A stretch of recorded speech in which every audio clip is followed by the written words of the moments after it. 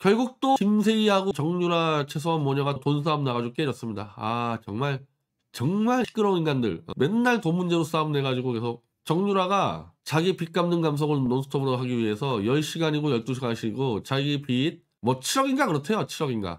그러니까 7억을 갚을 때까지 가세연에서 논스톱으로 발- 뭐 방송하겠다. 그리고 각서까지 써달라. 제가 인터뷰를 안 하면 안 했지. 이게 뭐냐 보니까 최서원 단독 인터뷰를 김세희가 요구를 했더니 김세희한테 자기 빚 갚는 감속을 무제한으로 하겠다. 그 대가로. 한마디로 최서원의 출연료를 한 7억을 해달라 이 수준이네, 이거. 근데, 웃긴 게, 그거 안 해주면 되는 거지. 안 해주면 되는 거 아닌가? 안 해주면 되는 건데, 이렇게 그냥 거의 뭐 쌍욕을 퍼붓어요. 이런 망발을 저지른 사람이 있었다. 이런 거지 같은 마인드 뻔뻔한. 아니, 안 해주면 될 거 아니야. 안 해주면 되는데, 이렇게 정유라를 짓밟아. 그리고 정유라는 그렇게 미디어 치는 음해하느라고 난리친 인간이 김세희한테는 어? 뭐 속상하고 많은 도움을 받은 건 맞고 뭐 꼼짝 못해요 김세희한테는 죄송하고 이제 침묵하겠다. 아니 미디어 치대에서는 그렇게 신바람 나서 말만 열면 까고 다니더니 이 요 김세희 아무것도 아닌 놈한테는 엎드려 빌어요.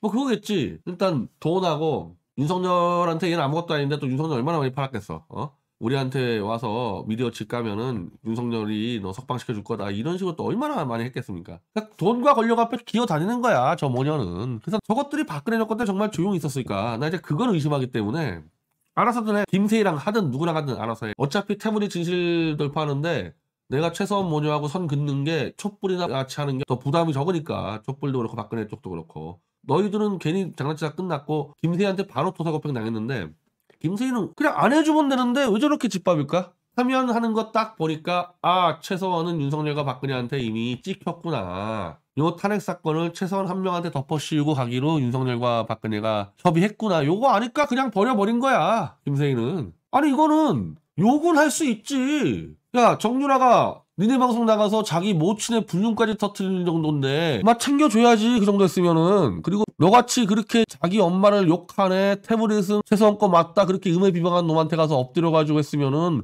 몇억 줘야지. 그 몇억이 네 돈이야 임마 어차피? 다 뺏은 돈이지?